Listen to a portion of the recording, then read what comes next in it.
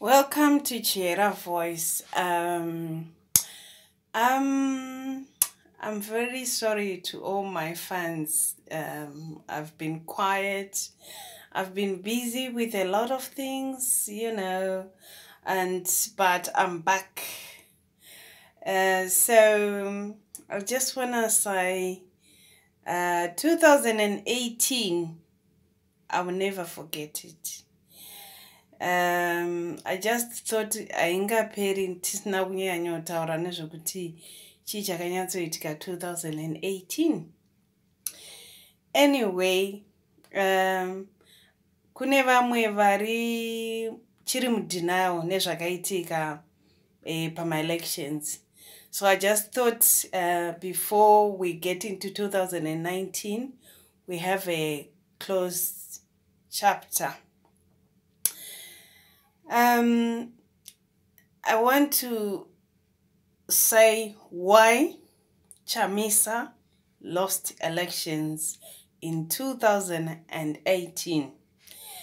I think there are 10 reasons why he lost the elections. Reason number one, purpose. Chamisa ane purpose. Reason number two, too much sass. Ah, bhudhi vanotaura vaya vanogona kutaura ende vanogona kutaura zvinotekenyedza vanhu. Uh, point number three mm, take over yacho maitiro avakaita so mm, haikomboreri. Mm, it wasn't very professional. Mm.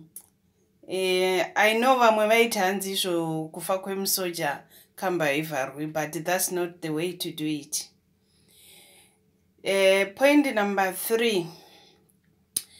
When chamisa turned on the scene vanhu vese vakatanga kuvenga kupe. For no reason. Kungovenga kupe from nowhere. And they say what goes around comes around. I think this is what happened. Then point number five the bullet train talk. That one was a big lie. It was a big lie that a train would go from Harare to Blawayo in 45 minutes. That was one of the biggest lie in the history of elections. Point number six, Stephen Saka. I will never forget that interview. I will never forget that interview. Chamisa was caught on camera lying. You know, mataura akaita nyaya yatrump soka aitaura kunge ari kutaura nezvamudbc here kana kuti ari kutaura nezvavhidhico here kuti patakataura natrump akati nhaye vakomana mari yamungada kuti nyika inake imari. He was talking about the president of united states lying about him. That was bad. Ndakanzwa munyarira painterview ya yehard talk. Interview iya some people thought hai haina hari. But yakadonhedza chamisa that interview was dangerous for someone ano reason that interview was dangerous. Then number seven. Mm, chamisa didn't show some kind of professionalism. He continued to attack the president. All over kupese paaitaura aingotaura nezvekushoropodza president which wasn't nice anyway. Then okay just before elections, Chamisa became a crybaby. Things were in order. There were 10,000 polling stations. But Chamisa, it was either this or that, this or that. He was just a crybaby. He was just a crybaby. You know, to me, he didn't show that he was ready to lead the country. Then point number um, nine, chamisa was not in touch with vanhu vekumusha idea how do they live? You know he would go kwana murehwa kuya achiti ye ndege dzichatakura matomatisi dzichienda nawo kuharare. A tese tinoziva kuti access luggage inodhura sei? 23 us dollars per kg. Saka matomatisi kana aenda nendege anonoita mariko muharare imomo? Vanhu vaingosvetwa they didn't care kuti ataura kuti udi you know? Then point number 10 it turned out that chamisa munhu anenge generally anongonyipawo zvake and uh, the other thing people never wanted to hear that he was wrong on one or two things. They would still support him.